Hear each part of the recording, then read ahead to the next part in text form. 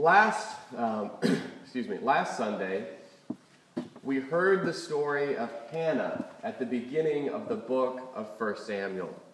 And this Sunday, we are hearing the last words of David from the very end of 2 Samuel.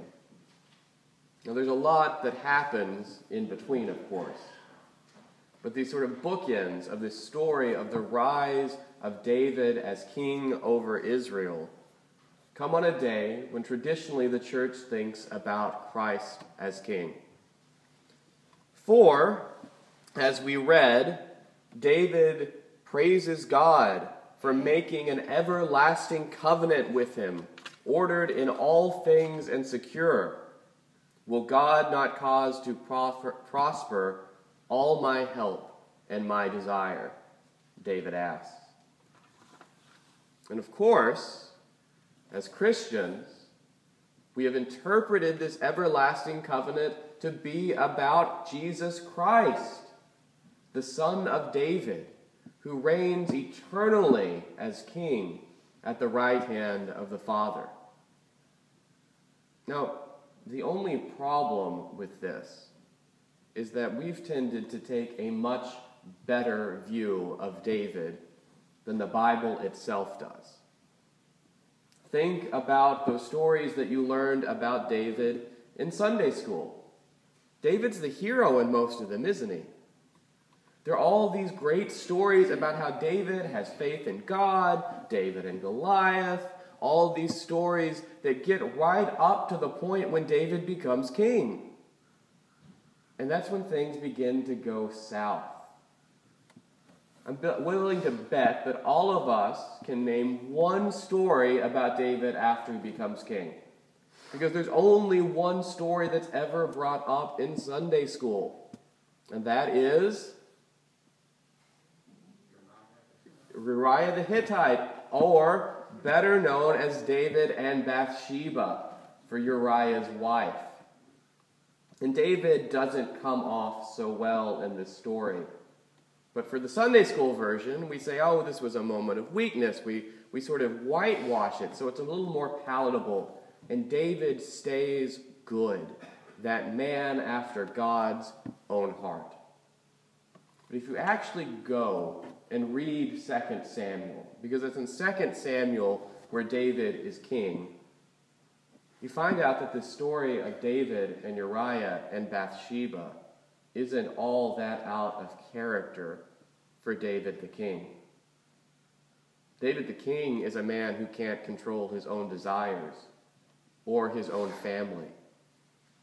And some of this ambivalence about David is to be understood as later people going back and editing these stories to make them make sense when they cannot understand how this everlasting covenant has been broken because there is no king of David's line in Jerusalem because all the Judeans are in exile in Babylon, and Jerusalem is destroyed.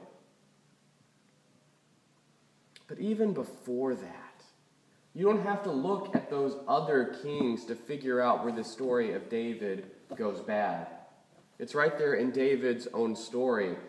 Those stories that we tend not to talk about in church. The big one is about David's daughter, Tamar. David had many wives and many children. But the Bible tells us that Tamar was beautiful, and her brother, Amnon, David's heir, desired her. And just as David, his father, did with Bathsheba before him, Amnon took what he wanted from Tamar without thought of consequences. And things begin to go south because in the story, David is entirely ruled by fear.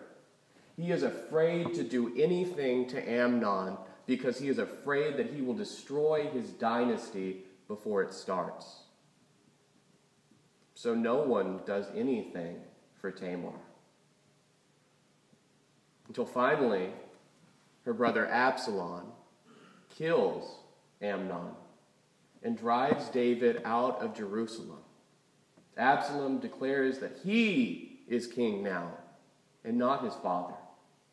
And so David, afraid of losing the power that he worked all his life to accumulate, wages war on his son and kills Absalom.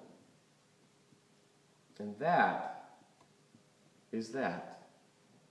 Everything is downhill from there for the rest of David's reign. And yet, and yet, these are the last words of David. Words that ring a little hollow as they proclaim how wisely David has ruled. We all have selective memory sometimes, don't we? But David is the lens through which Christians have understood what it means for Jesus to be king for thousands of years. Sometimes, most of the time, that lens is a study in contrast. We proclaim that Christ is the son of David and a king, but not a king like David. As we heard Jesus tell Pilate today, My kingdom is not from this world. It doesn't act the way that you expect it to. It's got a different set of logic. And we're familiar with the logic of David's kingdom. Because even though we don't use those words, kings and kingdom, much anymore, doesn't this story of petty power politics still ring true? Don't we see our leaders today in this country ruled by their own fears of losing power? It doesn't matter what political party they're a part of. And don't we see the way that fear is used to control us? It's the way it means to be a king in this world. But Jesus is not a king like that. Jesus' kingdom is not from this world, and it shows us a different way to live.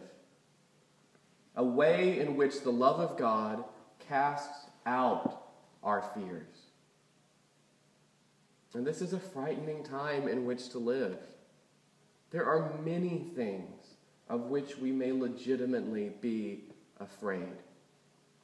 But the consistent message of the Bible is do not fear.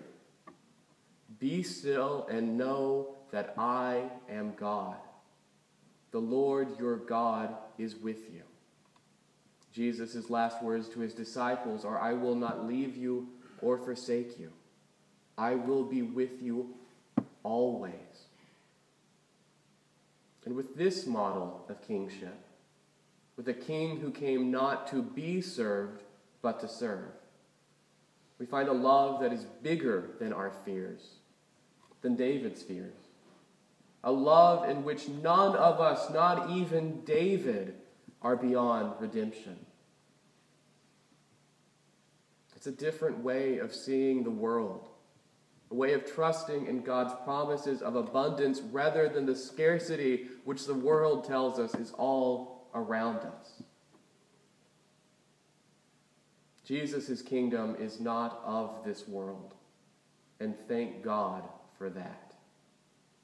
Amen.